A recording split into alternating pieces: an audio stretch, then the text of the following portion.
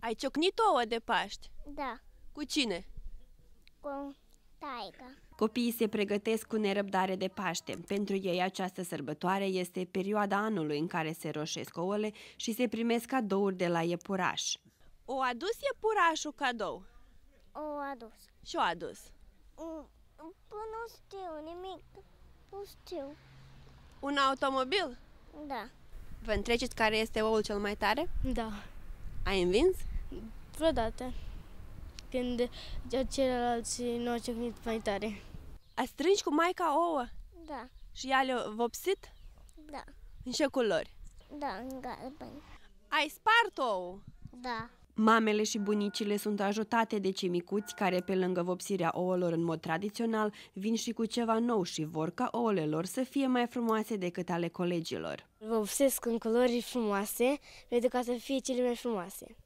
În culori roșii pentru că alea este un simbol.